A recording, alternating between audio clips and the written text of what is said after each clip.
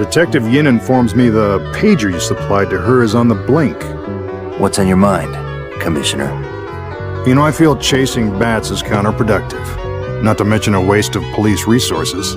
Thanks to all of your efforts, Batman, the time is finally right to take our alliance to the next step. Commissioner? Good press sometimes goes beyond the law. The hearts and minds of all of Gotham are behind you.